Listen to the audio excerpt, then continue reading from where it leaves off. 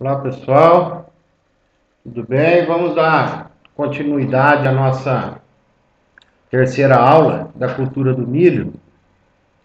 Nossa quarta aula, né? Na terceira aula nós tivemos, falamos sobre a cultura do milho e agora nós vamos continuar, né? Terminar a terceira aula é, falando, fazendo os cálculos de estimativa de produção. É uma das metodologias, né? existem outras, mas talvez essa seja a mais prática e usual, tá? Então, vamos lá. Primeiramente, o que nós temos que fazer? A primeira etapa dessa estimativa de, de produção do milho. Nós temos que definir o número de espigas em uma área de 4 metros quadrados. Por quê? Porque é uma área representativa daquele da, da, da, da, lavoura que nós estamos estimando, né? Fazer de um metro quadrado não, não, não é o ideal. Então, nós temos que definir o número de espigas em uma área de 4 metros quadrados, ou seja, o número de plantas uma área de 4 metros quadrados. Quais informações que eu preciso? O espaçamento da cultura e a população, número de plantas por hectare. No nosso caso do exemplo, nós temos um espaçamento de 0,8 metros, né, 80 centímetros, e uma população de 55 mil plantas por hectare. Então vamos lá. Primeiro passo: calcular quantos metros lineares eu tenho por hectare. O que, que eu tenho que fazer? Dividir a metragem, né, metros quadrados de um hectare, pelo espaçamento. Ou seja, 10 mil metros quadrados dividido pelo espaçamento eu vou ter 12.500 metros lineares. 10.000 dividido por 0,8 tem 12.500 metros lineares em um hectare com espaçamento de 0,80.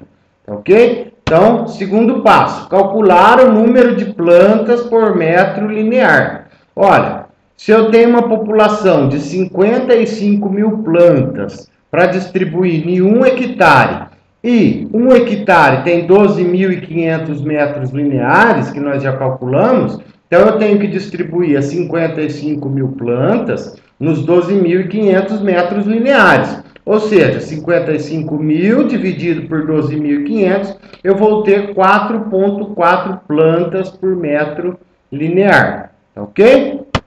Terceiro passo, eu tenho que, como eu vou calcular a, a, a, estimativa em cima de uma área de 4 metros quadrados, eu preciso saber quantos metros lineares eu tenho em 4 metros quadrados, tá? Então, lá, em 4 metros quadrados, quantos metros lineares eu tenho? Então, se em 10 mil metros quadrados eu tenho 12.500 metros lineares, em 4 metros quadrados eu tenho x, né? Que vai me dar 5 metros lineares em uma área de 4 metros quadrados. Né? 10 mil está para 12.500, assim como 4 está para x. Então, 4 vezes 12.500 dividido por 10 me dá que eu tenho 5 metros lineares por a cada 4 metros quadrados, tá ok? Então, aqui é, eu realizei a primeira etapa. Segunda etapa, eu tenho que coletar três espigas nessa minha área que representem né, o talhão, o, a área como um todo. É, quando a gente diz que representa, assim, eu não posso pegar aquelas espigas muito grandes, fora do padrão, e nem aquelas muito pequenas, também fora do padrão. Então, eu pego, coleto três espigas que são representativas da minha lavoura como um todo, e faço o quê? Conto o número de fileiras de grãos daquela espiga. Né? Por exemplo, aqui ó, a gente vê aqui, ó, isso aqui é uma fileira. Ó. Uma fileira, duas fileiras, três fileiras, quatro fileiras, cinco fileiras. Enfim, no nosso exemplo aqui, nós vamos considerar uma espiga com 14 fileiras, tá? E, contado o número de fileiras, eu conto a quantidade de grãos por fileira. Né? Então, eu pego uma fileira dessa aqui, por exemplo, e, e conto 1, 2, 3, 4, 5. Na nossa exemplo aqui, nós vamos considerar 42, 42 grãos em cada fileira. Então, ó, são 14 fileiras e 42 grãos por fileira, tá? Então, aqui é a segunda etapa. E a terceira etapa, eu aplico a fórmula. Qual é a fórmula do, da estimativa de produção? Número de espigas em 4 metros quadrados, vezes o número de fileiras vezes o número de grãos por fileiras vezes 0,70. Aí vocês vão falar, como que eu sei quantas espigas eu tenho em 4 metros quadrados? A gente tem que considerar que os híbridos, a maioria, tem uma espiga, caso o, o, a cultivar que você esteja trabalhando tiver mais de uma espiga, mas como, como generalidade, é, é, é, cada planta tem uma espiga, tá? Então, ó, se em um metro linear eu tenho 4.4 plantas, né? De onde veio esse 4.4 plantas? Nós calculamos aqui, ó. Olha lá, um metro linear tem 4.4 plantas. Aí eu volto aqui, ó. Se um metro linear eu tenho 4.4 plantas, em 5 metros lineares, que, de onde é esses 5 metros lineares? É a quantidade de metro linear que eu tenho em 4 metros quadrados. Nós calculamos aqui também. Está aqui, ó, 5 metros lineares. Então aí eu aplico a regra de 3, ó. Se um metro linear eu tenho 4.4 plantas, em 5 metros lineares eu vou ter 22 plantas, né? 5 metros lineares é quantos metros lineares eu tenho em 4 metros quadrados. Ou seja, me dá o x valor de 22, né? 5 vezes 4.4 dividido por 1 dá 22 plantas, ou seja, 22 espigas numa área de 4 metros quadrados, tá? Essa é a parte que exige mais atenção, porque ó, o número de fileiras nós já contamos, está aqui no nosso exemplo 14. Número de grãos por fileira, nós também já contamos, no nosso exemplo 42.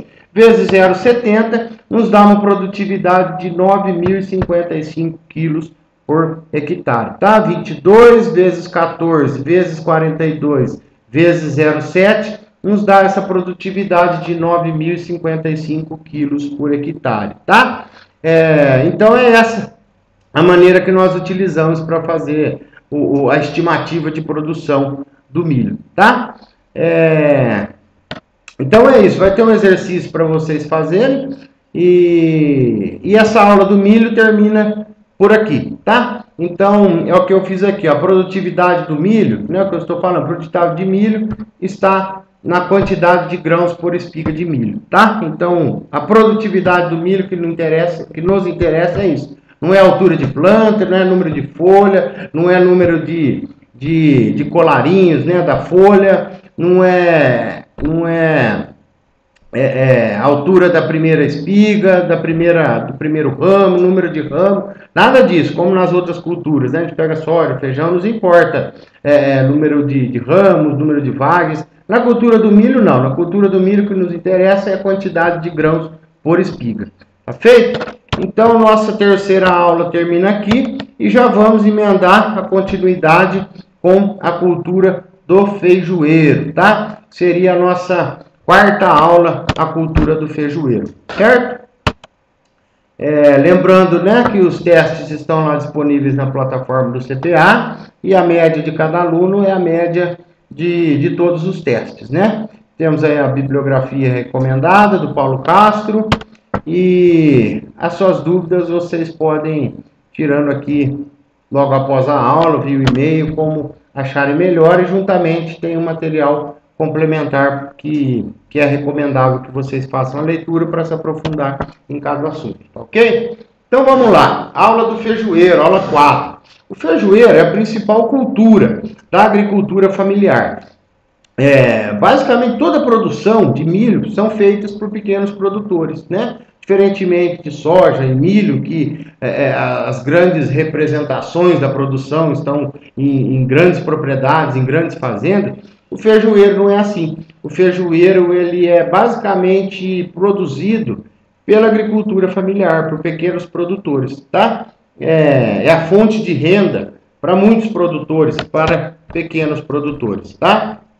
É, e o consumo, o feijão, né? Aí nós diríamos por que talvez isso, que o feijão ele é muito consumido no Brasil. Dessa forma, como nós colhemos, comemos, né? Nos alimentamos, faz parte da nossa dieta é, é, o feijão, no, no, nos outros países ao redor do mundo não tem esse hábito como o nosso arroz e feijão, né, na nossa dieta. Então nós somos o maior consumidor mundial e, e, e, e com relação a alguns países somos os únicos consumidores de feijão da forma que nós consumimos quente junto com arroz, né? Alguns países consomem com salada, nos Estados Unidos eles colocam grão com salada, né? Os grãos gelados, da forma que nós comemos, só somos nós que fazemos esse tipo de, de dieta com feijão, tá? Então nós temos um consumo alto por pessoa, é, por pessoa no Brasil, 16 quilos de feijão por ano é a média do brasileiro, né? A média, tem gente que come muito mais, tem gente que come muito menos,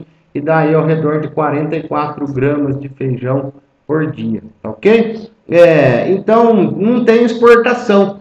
Como é uma cultura que é produzida, é, que é consumida, a sua maior parte aqui no Brasil, então não é um produto de exportação. O feijão não é uma commodity é, que é vendida para outros países. Né? Talvez aí venha o pouco interesse de grandes propriedades e de grandes multinacionais, né? Nós não temos empresas, grandes empresas vendedoras e produtoras, por exemplo, de sementes, né? Nós sabemos que aí temos grandes multinacionais que vendem sementes de milho, de soja, sementes transgênicas, sementes convencionais, ao passo que a semente do feijão não, ela é ela é produzida pelo próprio agricultor. Nós não temos grandes empresas detentoras com exceção da Embrapa. Né? No Brasil, a Embrapa, a empresa brasileira de pesquisa agropecuária, um, um órgão público, né? É, é, quem produz muitas variedades, quem faz testes, quem faz melhoramento genético no Brasil hoje de feijão, é, é a Embrapa, e a qual repassa, né?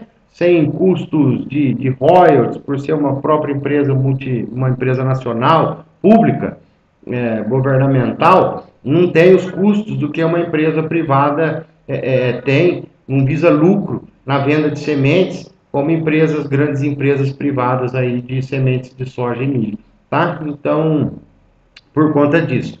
Então, o Brasil é o maior produtor, o estado do Paraná é o maior produtor no Brasil, 7 milhões de pessoas empregadas no seu ciclo. Aqui que eu estava dizendo, né, não é à toa que o nosso nossa dieta faz parte o arroz e feijão, mas eles se complementam. Isso o nosso corpo aceitou é, de maneira né, bem, bem é, aceitável, né? Que nem nós pegamos aqui alguns tipos de aminoácidos essenciais, né, ao ser humano. O que, por exemplo, aminoácido sulforado no feijão tem pouco, olha aqui no arroz, compensa, né? O aminoácido triptofano no arroz tem pouco, no feijão compensa. Então vamos ver assim que além de agradar o nosso paladar, eles se complementam na forma de que é, é, nesse exemplo nosso aqui, alguns aminoácidos onde tem pouco conteúdo nenhum no feijão, o arroz compensa e vice-versa, tá? Então faz parte da nossa dieta é, do brasileiro. É, feijão, nós temos três safras, né? Primeira safra de outubro a dezembro, segunda safra de fevereiro a março, terceira safra a partir de abril. Qual que é a principal? A primeira e a segunda, principalmente a segunda. A segunda cada vez mais vem ganhando espaço nessa época aqui de fevereiro a março, o plantio, né, de fevereiro a março. Essa época é a temperatura ideal para o, o feijão, né? Porém, é a época que tem mais falta de chuva. O produtor, pequeno produtor, conseguindo fazer a irrigação, é o, o manejo ideal, plantar entre fevereiro e março por conta da temperatura. Se faltar água, o, o produtor complementa com a, a irrigação, tá? A feijão de primeira safra também é muito utilizado na época de chuvas, né? Com temperaturas mais elevadas. E essa temperatura elevada a gente vai ver que pode ser um problema para a cultura do, do, feijão, tá? E, então a gente vê aqui, ó, feijão, é, é, é, são os tipos, né? A gente vai ver nos próximos slides, feijões coloridos, cores, feijão preto feijão calpi. Né? Então aqui, ó, primeira safra, 1 milhão e 100 mil toneladas, é, segunda safra, 1 milhão 200 mil toneladas e terceira safra, 700 mil toneladas, tá? Em termos de área plantada, feijão ocupa hoje uma área plantada no Brasil de quase aí 3 milhões de hectares de plantio de, de feijão, né? Lembrando aí que a soja ocupa por volta de 35 milhões de hectares, ou seja, a área de feijão não ocupa nem 10% da área de soja, tá? Mas mesmo assim são 3 milhões de hectares, é uma área representativa para atender todo o consumo nacional, tá? Produtividade, a gente vê aqui é o número mil toneladas, mil quilos por hectare, é, em média, é a produção do feijão no Brasil. É baixo, né? Vamos falar assim, tem capacidade, considerando a cultura da soja, né? 4, 5, 6 vezes menos. É, é baixa, é baixa, sim, a cultura do feijão é baixa. Por conta até do que eu já vim dizendo né, no início da aula, de que é, não é uma cultura de interesse de grandes multinacionais, de pesquisas, de trabalhos com sementes, trabalhos com melhoramento genético. Como eu disse lá em Viçosa, na Universidade de Viçosa, tem programa de melhoramento de, de, de, feijão. A Embrapa tem programa de melhoramento de feijão, que faz novas cultivares, mas não é o foco das grandes empresas. Então, não são culturas altamente tecnificadas. O feijão não é uma cultura que é muito visada à tecnologia, até por conta de estar na mão de pequenos produtores, é, onde não há muitas vezes os recursos para que se faça investimentos em tecnologia. Né? Então, tem essa série de restrição e é baixa, sim, a produtividade média do feijão ainda é muito baixa, pode melhorar muito, tá? O feijão, ele é da família Fazeolus, é uma fabácea, né, da família da fabácea, gênero Fazeolus, espécie vulgares, né? Então, o feijão é o famoso Fazeolus vulgaris. Todo feijão? Não. No norte e no nordeste, ele não é o Fazeolus vulgaris. Lá eles têm por hábito o consumo do feijão calpi, que é o Vigna unguiculata, tá? Então, que esse feijão, o calpi, ele é específico para altas temperaturas e umidade elevada e da maneira como se encontra lá no, no litoral do Nordeste, tá? Mas a grande produção de feijão, é, 70%, 80% do consumo está em cima do fazelos vulgares, que são principalmente o feijão carioca, né? Então, o que é o feijão, fazelos vulgares, aí entra os tegumentos, ou seja, a, a casca, né? O, o, envoltório ali do grão. É, dentro do fazelos vulgares, nós temos o tegumento carioca, o tegumento preto, ou seja, o feijão carioca, o feijão preto. Nós temos tegumentos rajados, né? Os feijões de cores rajados. Nós temos o feijão de tegumento rosa, o feijão bolinha, né? Que é bem parecidinho com a soja amarelinha. O tegumento jalo, feijão jalo, o feijão vermelho, tá? São todos, até aqui, são todos fazelos vulgares. E o feijão calpi é o Vigna unguiculata, né, que é o único que não é o fazeolus vulgaris e é consumido na região nordeste do Brasil. Ok? É, origem do feijão. O feijão é originário aqui das Américas, né? É, no feijão, o feijão carioca, os primeiros encontros deles, né, onde se encontrou primeiramente ali no México, na região do México, e as sementes, os feijões maiores, como a cultivar jalo, foi encontrada aqui mais na região da Argentina e no sul do Peru. Ou seja, são produtos aqui da nossa região, né? São os pontos de origem aonde o, o, o, a espécie se, se, se originou é aqui das Américas, aqui na América do Sul. É, nós temos plantas de hábito determinado, de crescimento determinado e de crescimento indeterminado, né?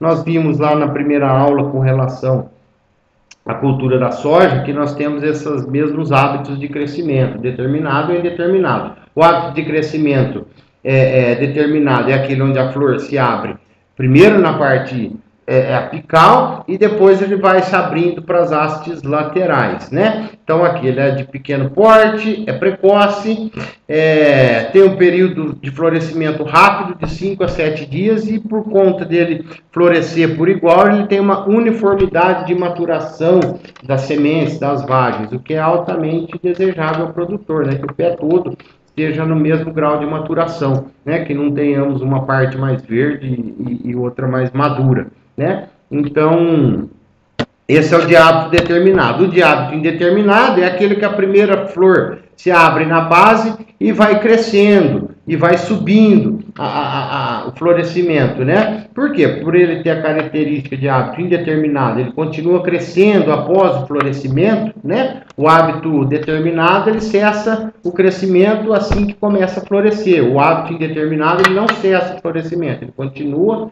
após o florescimento, ele continua crescendo, né? É, então, ele tem um potencial produtivo elevado, ele tem é, é, a característica de não maturação como um todo, tá? É, de, de, de, maturação de forma homogênea. Então, são os dois hábitos de crescimento do, do feijão. E, além dos hábitos determinados e indeterminados, nós temos os tipos de feijão né, com relação ainda à arquitetura da planta. Tipo 1, tipo 2, tipo 3 e tipo 4, né, são os tipos de feijão. O tipo 1, eles são hábitos de hábito determinado, ou seja, aqueles que são menores e arbustivos, né? Eles florescem um rápido período, eles são mais rápidos de crescimento. Como eles são menores, eles atingem a sua maturidade mais rápida e mais rapidamente completa o seu ciclo. Os tipo 2, feijão tipo 2, já são os de hábitos indeterminados, são aqueles que continuam crescendo após o florescimento. E ele já tem uma característica mais ereta e arbustiva, né? O, o tipo 1, ele forma um arbusto, o tipo 2, ele cresce e também forma um arbusto com características de semi-trepador. O que, que é trepador? Aquele que, que se envolve e, e, e se apoia né? em algum em algum material próximo ali, tá? É, tipo 3 também é de hábito indeterminado, veja que eles estão aumentando, né? Esse aqui, tipo 3, o carioca, é tipo 3 de, de sementes maiores, né? É, é características aonde ele tende a ficar com características mais arbustivas de hábito indeterminado. E o tipo 4, sim, esse é um feijão trepador, né? É um feijão que precisa de haste para de apoio. São arbustos, né? São plantas mais altas, de alto florescimento, tá? Esse aqui é o feijão calpi, ele é desse, desse tipo. Então nós nós temos aí é, cada espécie ele tem o seu tipo, né? O seu hábito de crescimento e depois o seu tipo 1, 2, 3 ou 4, que é o tipo, a tendência da arquitetura da planta, tá ok? Determinado de acordo com cada espécie e tipo de feijão, tá?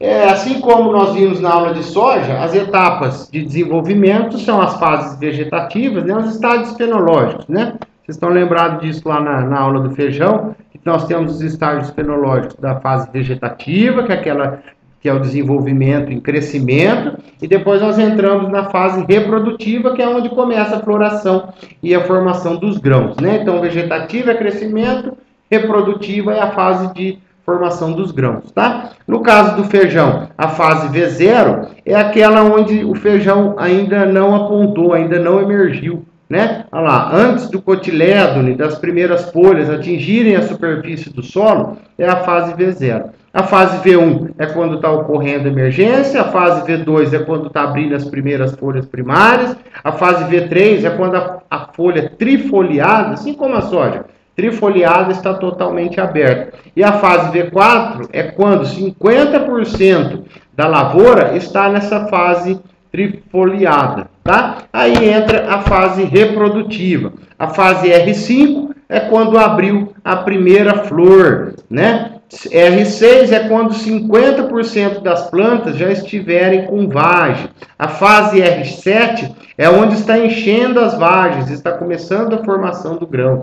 E a fase R8 é quando o grão já está entrando na fase de maturação. Tá ok? Então a gente vê aqui um ciclo total do, do feijão, né? De V1, V2, V3, V4, entra aqui no V5 quando inicia o florescimento, no, no, no, R5, né? Iniciou o florescimento, R6 iniciou a formação de vagem, R7 começou o enchimento da vagem, o R7 a maturação do grão e R9 já está pronto para colheita e armazenamento, tá ok? Com relação às exigências climáticas e épocas de plantio da cultura do feijoeiro, tá? ela é relativamente exigente em condições climáticas, né? assim como toda cultura. Mas é importante conhecer quais as características da sua região para que tenha o plantio na época correta, né? A gente vai ver que não podemos ter excesso de água em algumas fases, nem déficit hídrico em outras fases, nem temperatura muito elevada, ou seja, tem que fazer o plantio de acordo com a época aonde a necessidade climática coincida com o estágio fenológico do feijão, tá? Em termos de temperatura, 21 graus é a temperatura ideal que o feijão é, é mais favorecido, tá? Mas de 18 a 24 são ótimos ainda, tá? Baixas temperaturas após a semeadura atrasa a germinação. E durante o crescimento, reduz a altura da planta, reduz o número de ramos, produz menos vagens, tá? Então, temperaturas abaixo de 18 graus no crescimento vegetativo é altamente prejudicial. Além da germinação, é claro, é altamente prejudicial porque diminui o número de vagens, tá? E altas temperaturas. Altas temperaturas acima, né, que nós vimos aqui, acima de 24 graus, ela provoca abortamento das flores, ela tem problema na retenção das vagens no pé, né? Então, temperaturas diurnas acima de 30 graus e noturna acima de 25 graus prejudica o florescimento do feijão, tá? E acima de 35 graus praticamente tem total aborto das vagens e do florescimento, tá? Termos de umidade de solo, a cultura do feijão, ela precisa de bastante água em todo o ciclo, mas as etapas fundamentais, aonde não deve haver é, déficit hídrico, é na fase de germinação, floração e enchimento de grãos, né? A fase V0, V1, R5 e R7 é quando o feijoeiro mais precisa de água, tá? É, a deficiência hídrica do feijão é fácil que aconteça porque o sistema radicular, as raízes do feijão é muito raso, superficial, são raízes muito rasas. Então, qualquer falta de água ou espaçamento muito prolongado entre a irrigação já provoca um déficit hídrico e causa uh, uh, os prejuízos que nós comentamos nos slides passados, tá? É, quando ocorre entre a semeadura e a quarta folha trifoliada, há prejuízos, grandes prejuízos na sobrevivência e na produção de grãos, tá ok? Por outro lado, o excesso de água também é muito prejudicial, porque etapa de florescimento e frutificação, as plantas precisam de muito oxigênio e as raízes é, encharcadas, a gente sabe que não tem o oxigênio necessário que a planta precisa para concluir os seus metabolismo, tá? Então o excesso de água também é muito prejudicial, muita chuva também é muito prejudicial. Naquelas cultivares aonde elas têm o hábito de crescimento prostrado, né, aquele que, que toca o chão, se as vagens ficam em contato com o solo é, úmido, encharcado, provoca queima das vagens e perda daquelas ok? Então as chuvas são necessárias, né, conforme foi dito, principalmente no estágio V0, V1, R7 e R8. É, pesquisas indicam que lâminas, né, quantidade de chuva entre 340 a 471 é, foram os que obtiveram melhores produtividades, ou seja, acima de 500 baixou a produtividade, abaixo de 300 também baixou a produtividade. Então, na média de 340 a 470 milímetros é o ideal para a cultura do feijoeiro, tá? E isso, né, a, a, observação que eu coloquei aqui, que algumas regiões de São Paulo, essas precipitações ocorrem, né, duas vezes ao ano, então nos favorecem até o plantio em duas épocas de anuais, né, o plantio em duas épocas no ano, sem necessidade de irrigação, tá? Então aqui, o plantio ele é feito em duas épocas, o plantio do feijão das águas e o plantio do feijão da seca, tá ok? Porém, com é, o uso de irrigação, o feijão da seca ele pode ser é, é esticado para outros períodos, tá ok? Então nós temos a época de plantio de primavera e verão, onde é plantado na primavera e colhido no verão. Esse é o plantio das águas, tá? Ele é bastante utilizado pelo pequeno produtor em consórcio com o milho, tá? Porém, essa época tem problemas, nós temos é, a chuva, né? O perigo aqui do plantar no, na primavera e colher no verão é que o verão é chuvoso. Se nós tivermos chuva na época da colheita, atrasando a colheita, o prejuízo também é muito alto, tá? O plantio de verão outono é o plantio da seca, onde precisa ter irrigação, porque é o período que a chuva diminui, ok? Então, porém, os grãos nessa época com irrigação ficam grãos de melhor qualidade, com uma produtividade acima, tá? O plantio de outono e inverno é o de abril a junho, entre colheita entre julho a setembro. Grandes produtores plantam essa época com irrigação e os grãos também apresentam melhor qualidade, tá? O plantio de inverno primavera é o plantio de meados de julho, começo de agosto, para colher em novembro. Problema: baixas temperaturas e problema e, e, alta probabilidade de chuva na época da colheita, ok? Nutrição mineral do feijão. O feijoeiro é uma planta muito exigente em nutrientes. Como ele tem ciclo rápido, é, o sistema radicular ele é, é raso, né? É pouco profundo. É, o nutriente tem que ser colocado diretamente bem próximo à planta, né? Próximo às raízes na hora certa e no tempo certo. Nós não temos é, é, na hora certa e no local certo. Nós não temos tempo para atrasar o, o, a adubação do feijão por conta do seu ciclo ser muito rápido e com certeza vai ter deficiência nutricional, tá? É, nós aqui tem uma uma tabela, né, com extração ou seja, o quanto que a planta extrai do solo de alguns nutrientes né, e, de diferentes autores. Né? Se olhar o galo, ele diz aqui ó, que o, o, o feijão extrai, em média, 102 quilos por hectare de nitrogênio, 9 de fósforo e 93 de potássio. Então a gente vê que o nitrogênio e o potássio são os principais, e depois o cálcio, os principais é, é, nutrientes aí extraídos do solo pelo feijoeiro, tá? O nitrogênio, o nitrogênio ocorre, é, é, é uma característica também do feijão, que o nitrogênio, a planta absorve, é, é, é, extrai do solo grande, necessita, utiliza né, no seu metabolismo uma grande quantidade de nitrogênio durante todo o ciclo da cultura, tá? Tem aqui ó, uma, um número que diz que a planta absorve de 2 a 2,5 kg de nitrogênio por hectare por dia, né? Então, é uma, uma quantidade elevada e a maior exigência está entre 35 a 50 dias após a emergência da planta, tá? Aí tem aquela pergunta, o feijoeiro não é uma leguminosa e toda leguminosa não tem a, a não faz a fixação biológica de nitrogênio, né, como a soja.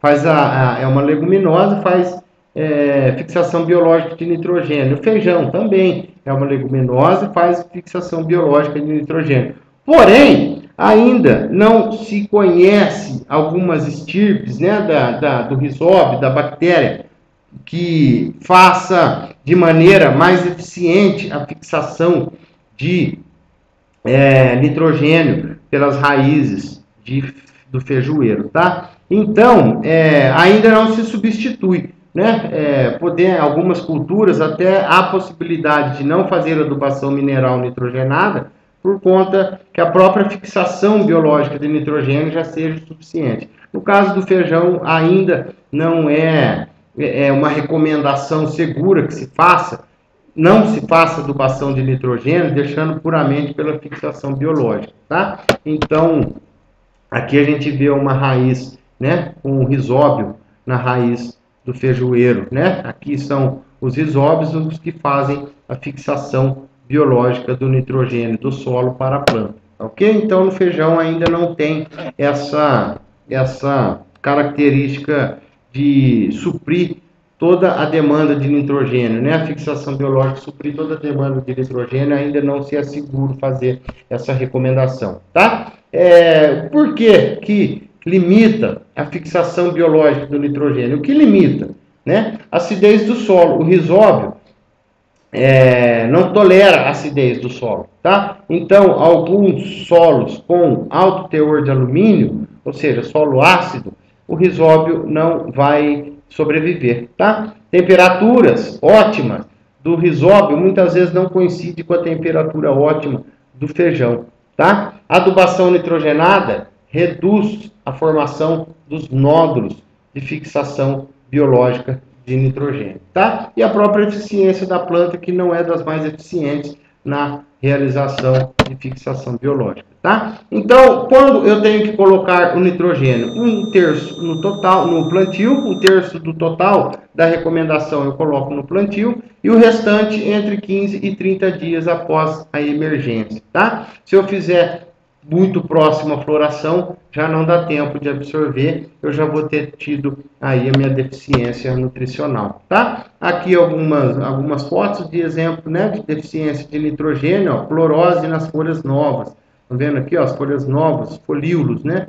Folhas novas é, na, nas folhas mais novas, tá? E, e posteriormente essa clorose vai para as folhas mais velhas também, tá? À esquerda aqui uma planta com nutrição normal e à direita uma planta com deficiência de nitrogênio. A gente vê a diferença aqui no tamanho, tá bom? Fósforo, fósforo ele também tem é, uma indicação é por volta de 70 a 110 quilos por hectare de P2O5, de alguma formulação que seja altamente, rapidamente disponível, tá? Então a maior, é, a, a, a maior velocidade de absorção está aí por volta de fósforo, né? Está aí por volta de 30 a 55 dias após a emergência, tá? Absorvendo aí de 0,2 a 0,3 quilos por hectare de fósforo por dia, tá?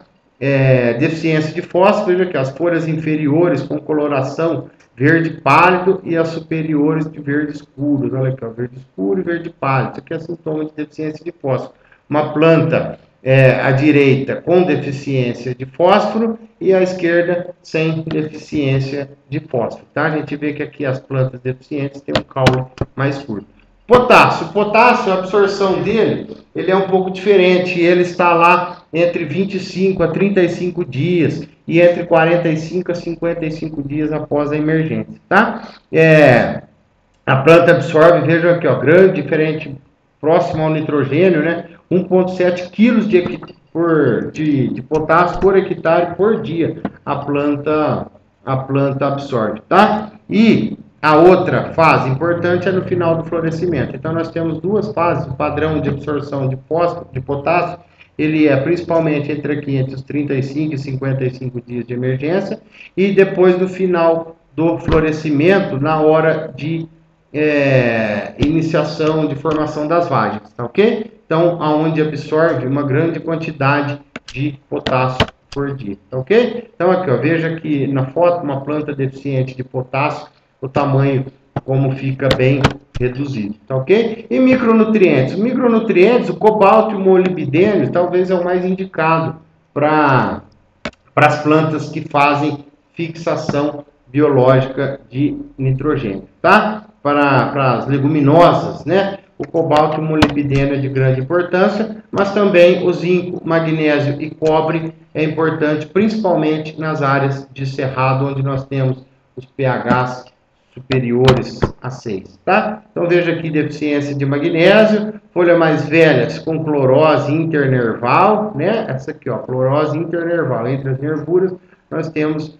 uma clorose que depois vai indo para o centro da folha, tá? Deficiência de boro, olha aqui, o secamento do ponteiro da planta. Deficiência de cálcio, morte do caule, do meristema caulinar, do caule. Deficiência de manganês, folha com clorose internerval, né? Engrossando a folha. E deficiência de zinco, encurtamento de internode. Veja aqui uma planta uma folha com deficiência de zinco.